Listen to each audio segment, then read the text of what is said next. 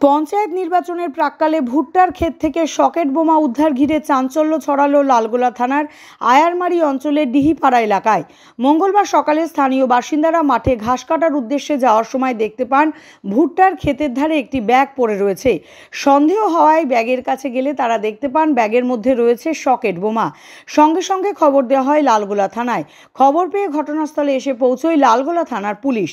পঞ্চায়েত নির্বাচনের প্রাক্কালে তাজা সকেট বোমা উদ্ধারের ঘটনায় চাঞ্চল্য ছড়িয়েছে এলাকায়। আমার মনে হচ্ছে দাদা, আঠারো সালের পুনরাবৃত্তি ঘটানোর কৌশল নিয়ে তারা এই জঘন্য খেলায় মারতে চাইছে, মানুষের সঙ্গে রক্তহুলি খেলতে চাইছে। আমরা নির্বাচন কমিশনের কাছে, লালগোলা থানার ওসিকে আমি ফোন করেছি, ওসি বলেছে, এক্ষুনি দেখছি।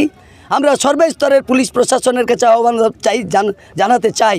যে এলাকার শান্তি রক্ষা করবার জন্য পুলিশ প্রশাসন তার র্যাব সিআরপিএফ যা আছে দ্রুত মোতায়েন করুন। এলাকায় তৃণমূলের নেতৃত্বে এই মিলন সহ আরও গুটি কয়েকজন তৃণমূলের নেতৃ- নেতার নেতৃত্বে এলাকায় একটা অশান্তির পরিবেশ তৈরি করবার সমস্ত ই আমরা বুঝতে পারছি সেটা রক্ষা যাতে করা যায়।